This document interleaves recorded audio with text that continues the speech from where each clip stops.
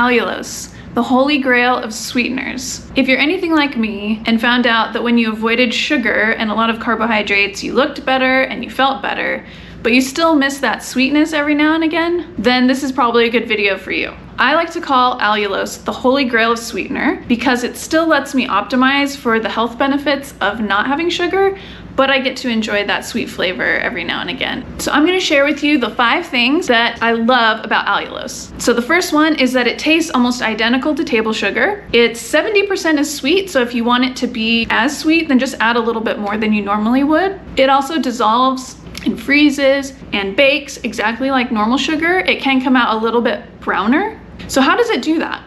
It's almost identical in its structure to fructose. So our body tastes it like it's sugar, but because there's one hydroxyl group that's slightly at a different placing, it makes the structure a little bit different, so the body can't really utilize it the same way that it would normal fructose. The second thing that I love about it is that it does not raise your insulin, almost at all. Lots of people have done their own studies and lots of research has come to show this.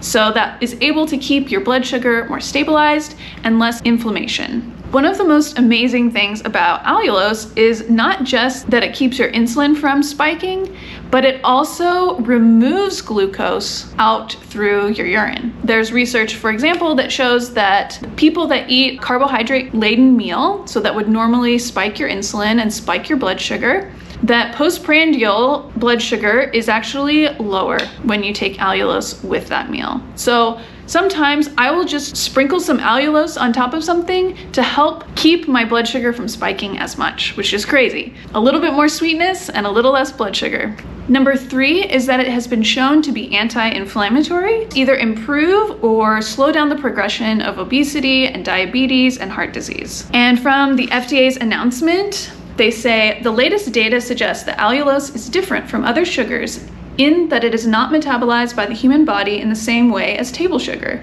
It has fewer calories, produces only negligible increases in blood glucose or insulin levels, and does not promote dental decay.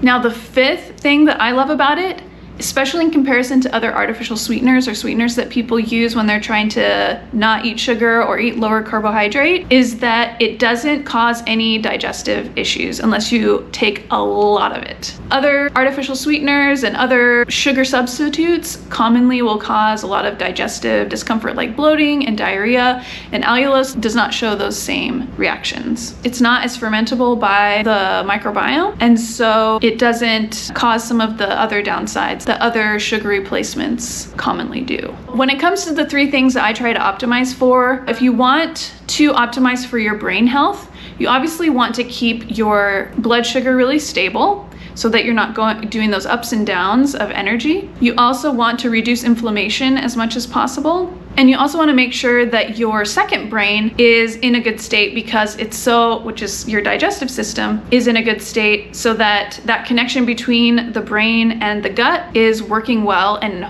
both are calm and so forth. So when it comes to hotness, it doesn't raise your insulin, which is really great. It keeps your insulin lower, which helps you be in fat burning mode more often instead of fat storage mode. And then for my immune system health and keeping my eczema flares down, it helps because it helps keep most of your immune system, which is in your gut, nice and calm.